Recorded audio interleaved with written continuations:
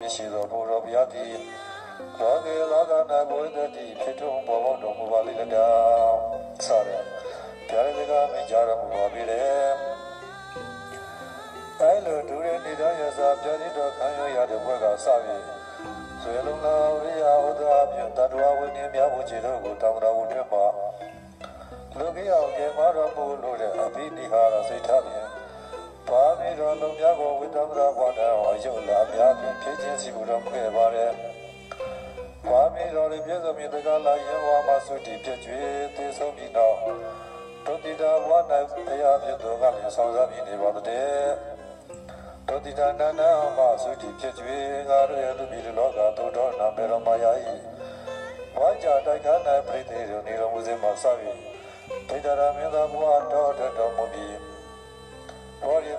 တပညတာရွှေဉာဏ်တော်ရောက်တဲ့မိုးဒီတိုင်အောင်သောကာလထိကတပတ်